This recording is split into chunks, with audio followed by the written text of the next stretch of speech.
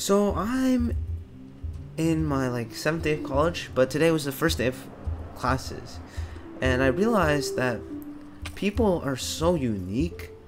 A couple days ago, but I guess in the spirit of these videos, I'll recap what I did today first, very quickly, like one minute, and then I'll talk a bit about why I think people are so unique.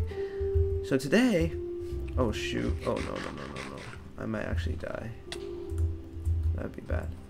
Also, my mouse is kind of broken. So, why do I think?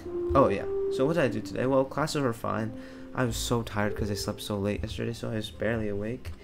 And I do not know if I actually absorbed anything that I learned today. I honestly did not learn that much today.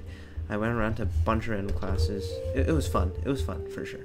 And I'm happy that I'm getting back in the school groove, I guess you could say. Oh shoot. Uh but yeah. Oh, there's monsters nearby? Where? Oh, right here? No, my mouse is definitely broken. Sorry, I, I yeah. Class are fine. So why are people unique? Well, I was thinking today, I'm like, hmm, none of my friends over here are like my friends back at home. And while at first you might be like, bruh, that's obvious. Obviously people aren't going to be the same, right? I, I think it's kind of interesting to think about. Because from my point of view, the people I met here, I feel like at least one of them should be kind of similar to one of my friends back at home. And they are, in some senses. But everyone's so unique and so different.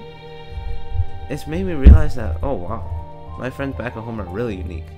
And I think part of the problem is, like, I haven't gotten to know the people here well enough for them to actually show their, I guess, more hidden personality. Like right now, everyone's slightly NPC-ish, right? But people are starting to peel back that layer a bit. I for sure am, and so maybe it just seems that way.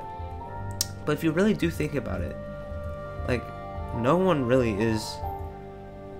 Everyone really is so different from each other, right? And being here has really shown me that.